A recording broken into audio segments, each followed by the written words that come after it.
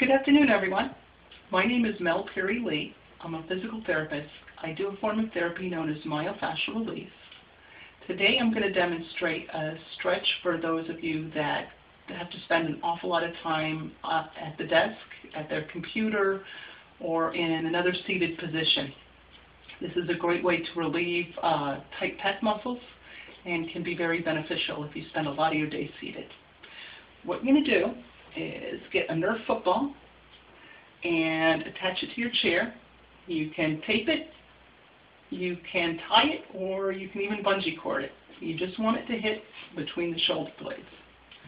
Then, every 20 minutes to half hour, you're going to lean back against the ball and let your shoulders round out.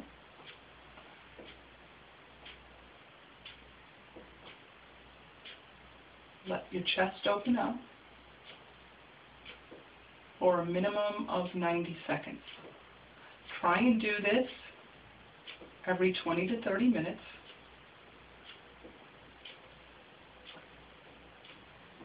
And you'll find it very beneficial.